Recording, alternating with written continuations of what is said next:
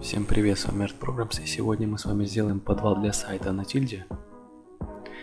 Подвал для сайта на тильде можно сделать следующим образом.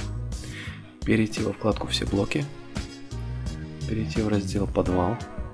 Здесь мы можем выбрать готовое решение э, для подвала на тильде, подобрать подвал для нашего сайта. Давайте рассмотрим такой пример.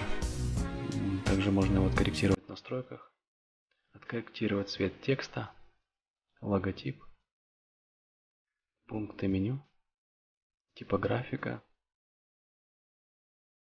настроить отступы сверху и снизу. И добавить цвет фона для всего блока. Также мы можем видеть, что можно настроить адаптивность для мобильного телефона, планшета и компьютера. Можно также конвертировать данный блок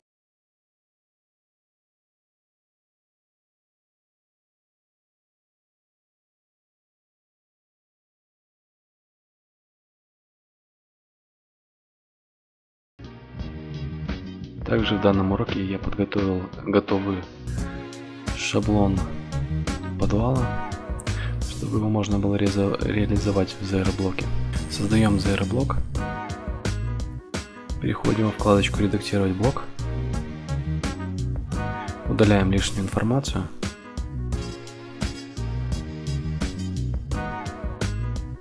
В фотошопе посмотрим высоту нашего подвала. Давайте возьмем высоту 260 пикселей.